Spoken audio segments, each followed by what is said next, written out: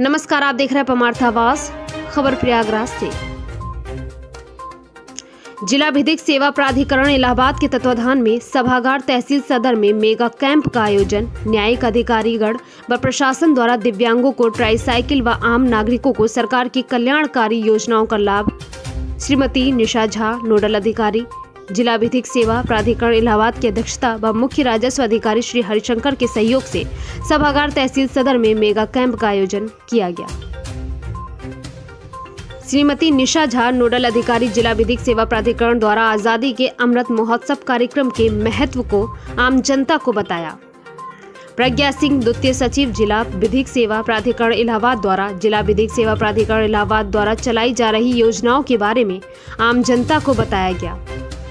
सुश्री, Sarangi Shukla civil जज junior division द्वारा महिला सशक्तिकरण व नारी उत्थान के बारे में व्याख्यान दिया गया। सुश्री शालिनी अपर सिविल जज जूनियर डिवीज़न द्वारा महिलाओं को उनके अधिकारों के बारे में अवगत कराया गया। तहसीलदार सदर द्वारा राजस्व संबंधी योजनाओं को आम जनता से साझा किया गया। इस अवसर पर सरकार की कल्याणकारी योजनाओं के पात्र व्यक्तियों को चिन्हित कर लाभार्थियों को योजना का लाभ प्रदान किया गया। व दिव्यांगों को ट्राईसाइकिल प्रदान की गई। इस अवसर पर श्री उत्सव गौरव राज रेलवे मजिस्ट्रेट इलाहाबाद श्री शिवार्थ खरे, न्यायिक मजिस्ट्रेट इलाहाबाद श्री नितिन श्रीवास्तव, श्री शिशिर कुमार उपस्थित रहे। यह जानकारी प्रज्ञा सिंह, द्वितीय सचिव, जिला विधिक सेवा प्राधिकरण इलाहाबाद द्वारा दी गई।